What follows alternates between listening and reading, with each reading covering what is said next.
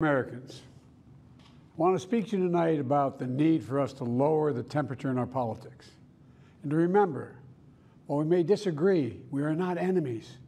We're neighbors, we're friends, co-workers, citizens, and most importantly, we're fellow Americans. We must stand together. Yesterday's shooting at Donald Trump's rally in Pennsylvania calls on all of us to take a step back. Take stock of where we are how we go forward from here. Thankfully, former Trump is not seriously injured. I spoke with him last night. I'm grateful. He's doing well, and Jill and I keep him and his family in our prayers. We also extend our deepest condolences to the family of the victims who was killed. Corey was a husband, a father, a volunteer firefighter, a hero, sheltering his family from those bullets. We should all hold his family and all those injured in our prayers. Earlier today, I spoke about an ongoing investigation. We do not know the motive of the shooter yet. We don't know his opinions or affiliations. We don't know whether he had help or support or if he communicated with anyone else. Law enforcement professionals, as I speak, are investigating those questions. Tonight, I want to speak to what we do know. A former president was shot, an American citizen killed, while simply exercising his freedom to support the candidate of his choosing. We cannot, we must not go down this road in America. We've traveled it before throughout our history. Violence has never been the answer.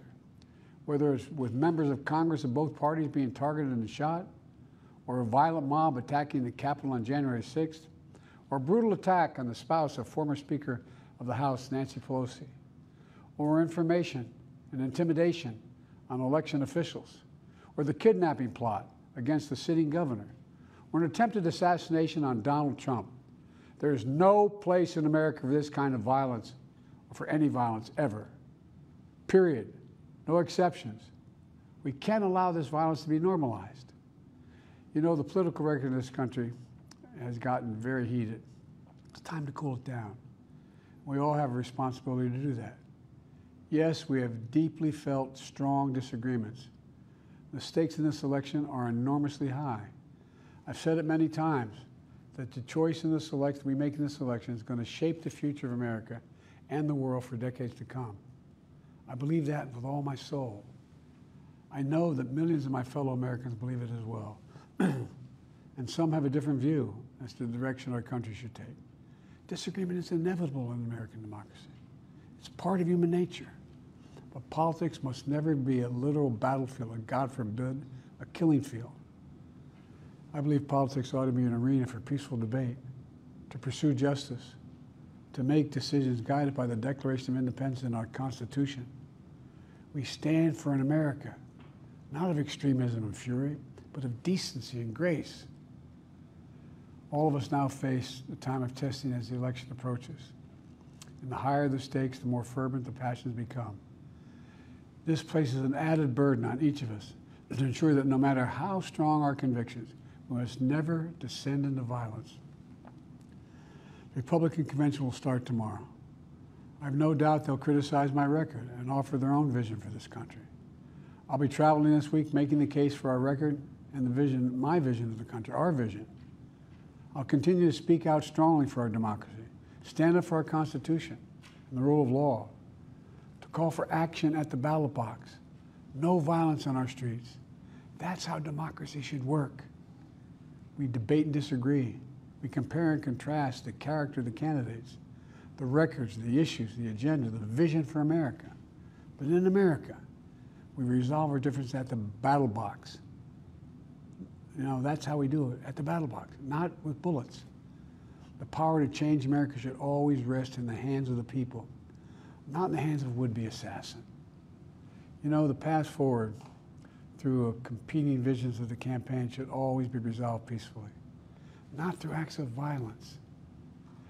You know, we're blessed to live in the greatest country on earth, and I believe that with every soul, every power of my being. So tonight, I'm asking every American to recommit, to make America so, make America, what, think about it. What's made America so special? Here in America, Everyone must be treated with dignity and respect, and hate must have no safe harbor. Here in America, we need to get out of our silos. where we only listen to those with whom we agree, where misinformation is rampant, where foreign actors fan the flames of our division to shape the outcomes consistent with their interests, not ours.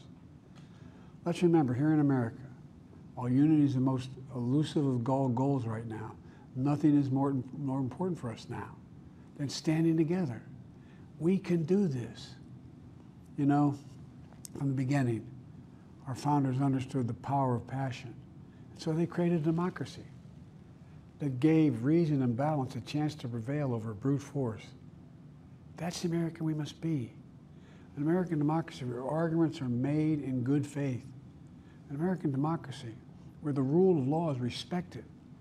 An American democracy where decency, dignity, fair play aren't just quaint notions, but living, breathing realities.